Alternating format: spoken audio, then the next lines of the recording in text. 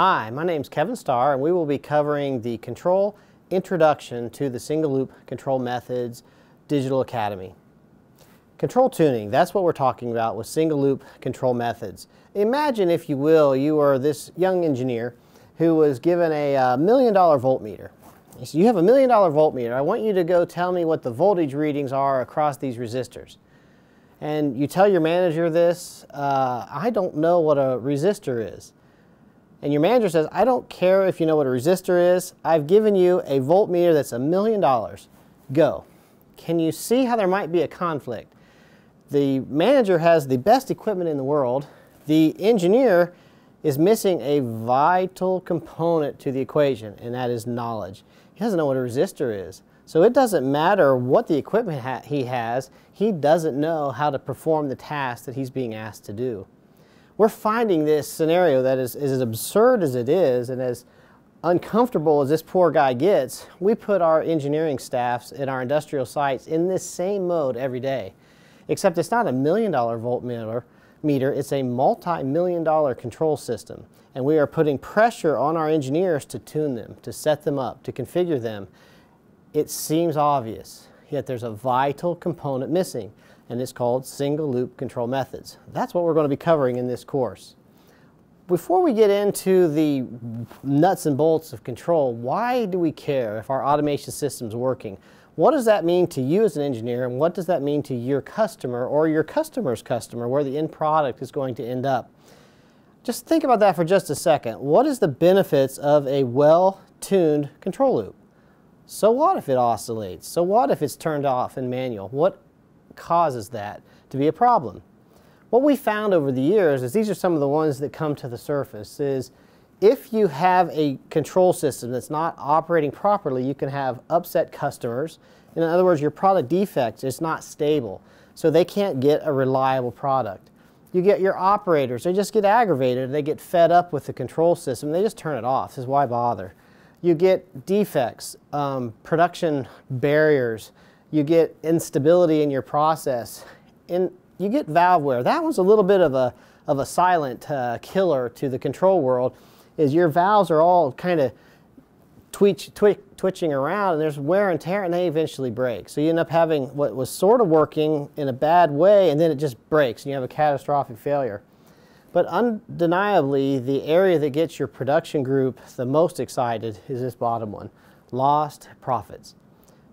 If you know a little bit about proportional, integral derivative, and control modes, you can do substantial improvements to the overall efficiency and production of your process and your, your, your control system.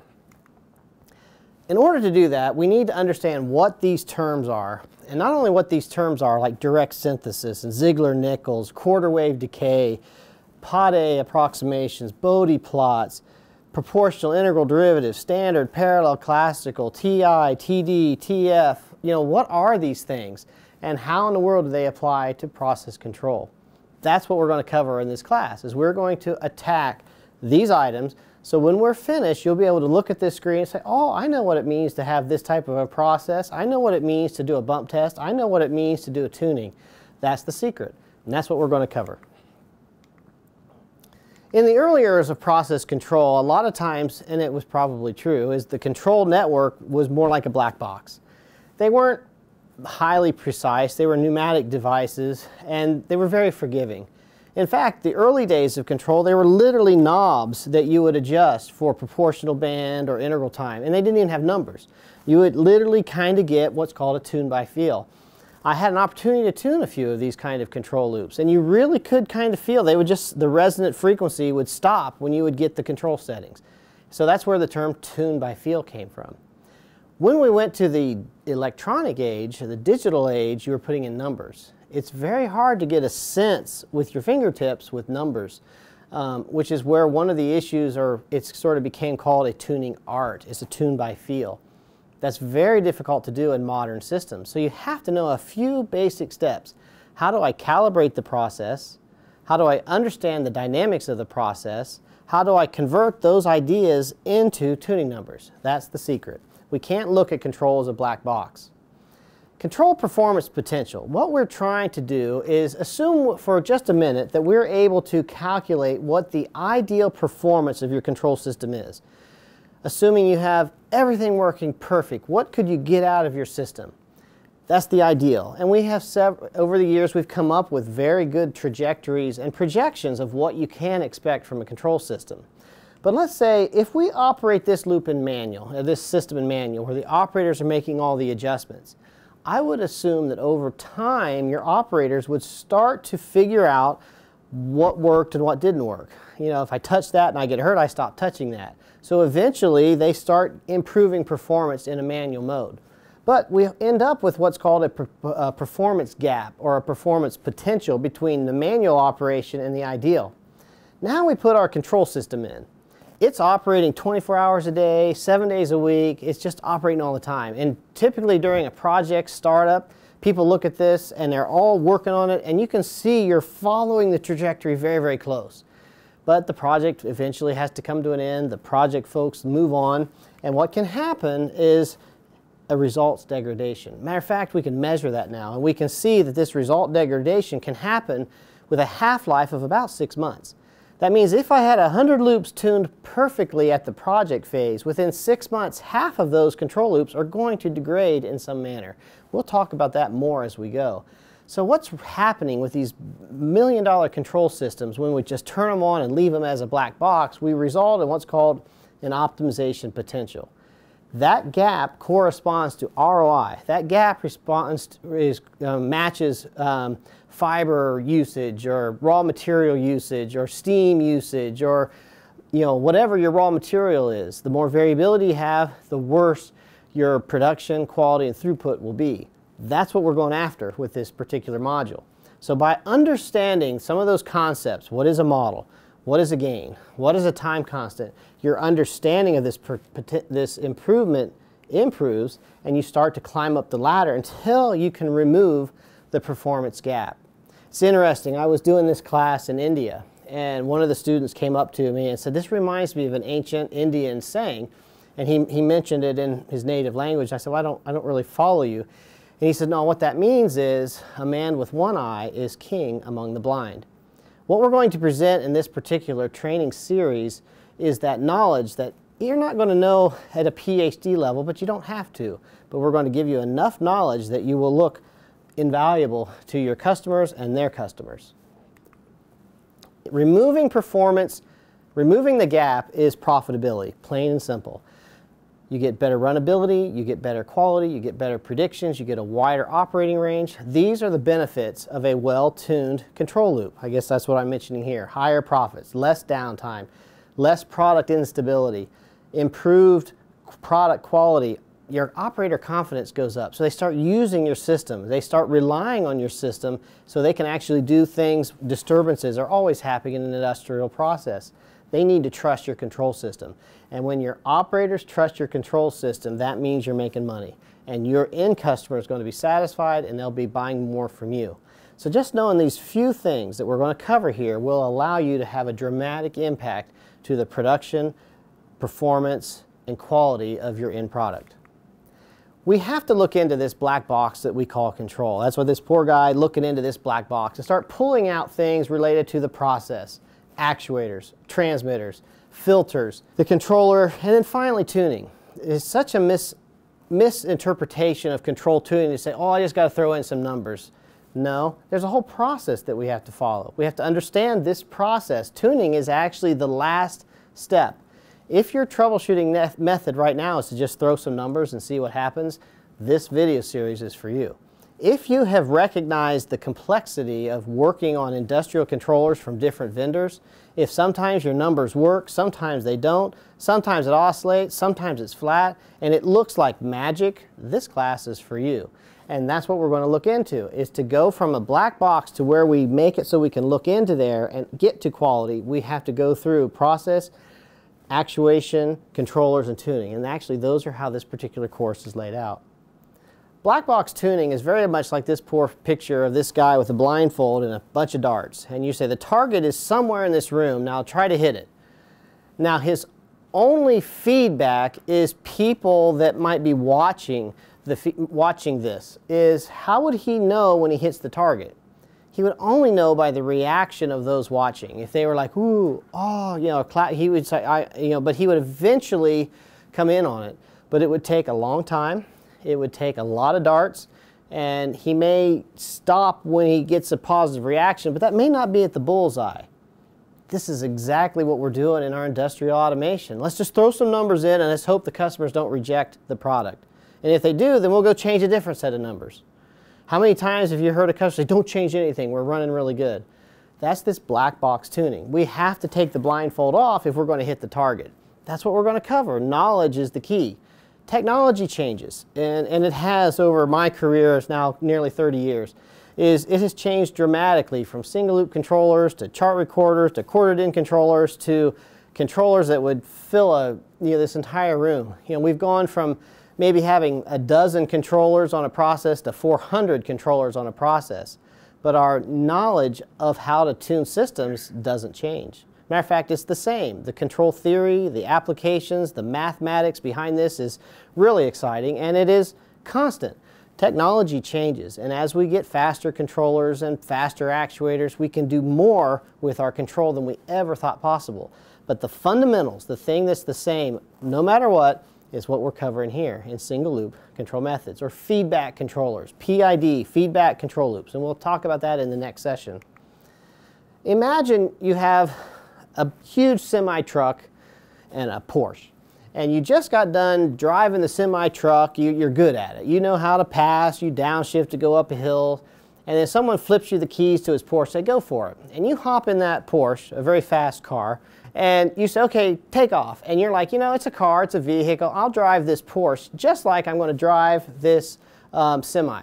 What do you think is going to happen the first time you jam on the accelerator? You'll probably shoot off the side of the road. Your process is different, but your understanding of the control knobs, you didn't change. That's actually very similar to the world that we live in. I could have the same control loop on both of these processes, exactly the same control loop. But if I don't recognize that the process is different, then one of them is going to blow up.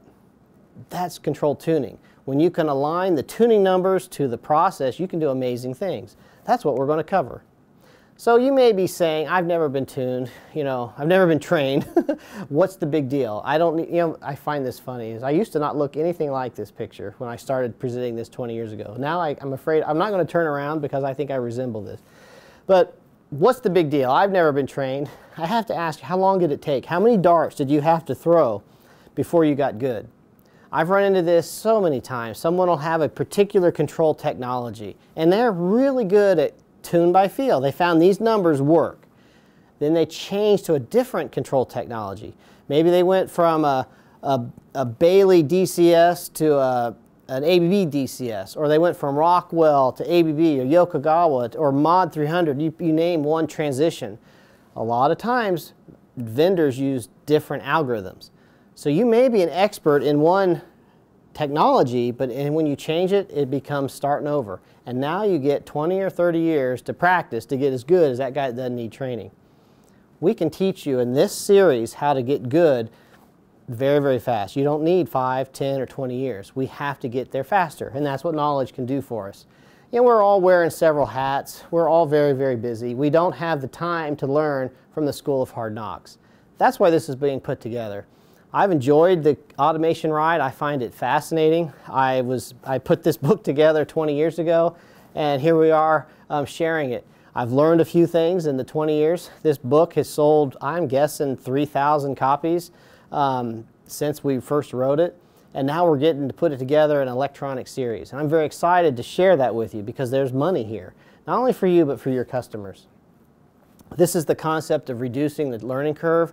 The School of Hard Knocks, the throwing darts until you hit the target, we don't have the time. We're too busy. We're too busy fighting fires. That kind of that whack-a-mole, you know, program. You know, you're hitting the, the one that pops up. Where you're in a firefighting mode. I just last week I had a customer say, you know what, my I can't see everything. I can only see a small area, so I'm I'm vulnerable over here. So what's happening is people are running and fighting fires. This technology, what we're going to learn here, will help ease the firefighting and get you ahead of the game by reducing the learning curve. And in this case, You'll be able to replay these videos. You'll be able to replay the exercises. You'll be able to go through it. That's what we're talking about. There are many puzzles, pieces to the control loop tuning picture.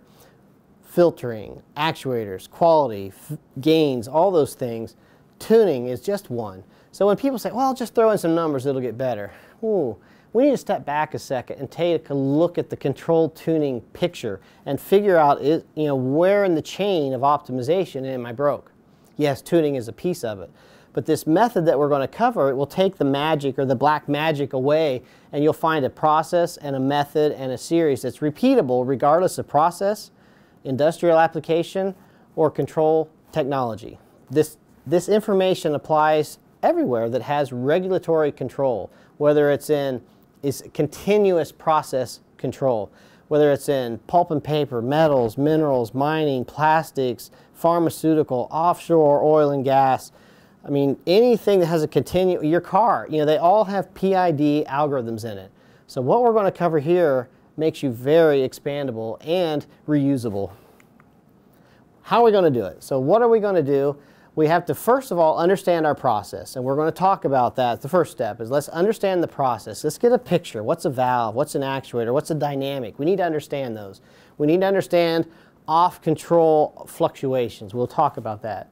Then we need to slap a controller on it some sort of a controller that has you know an ability to take an input like a reference and convert it into an output. We have to put it on control and then we have to take a look as did it get better on control versus off control? We have to understand that and we have to adjust parameters to try to optimize my control performance.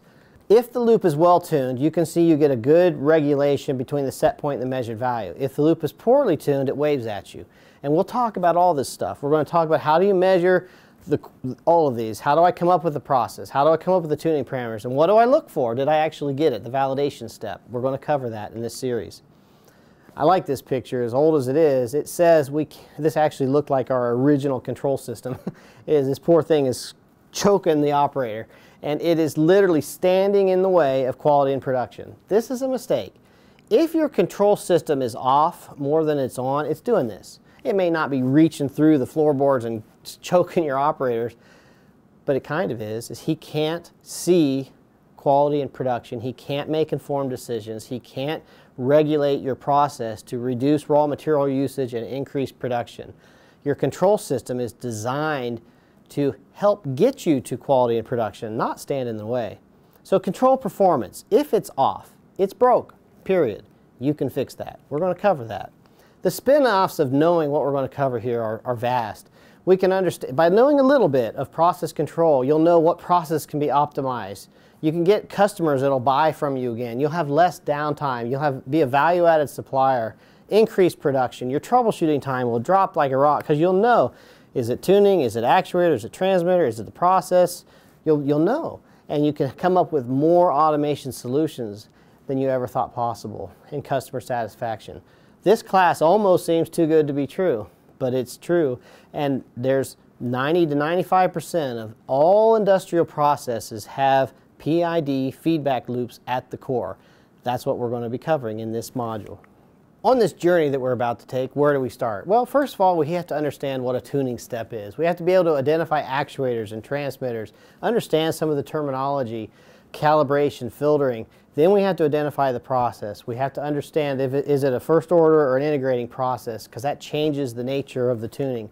Then we come up with methodologies for how to do a tuning. How do we identify the process? How do we figure that out? How do we inject energy into this process and have it tell us what it is?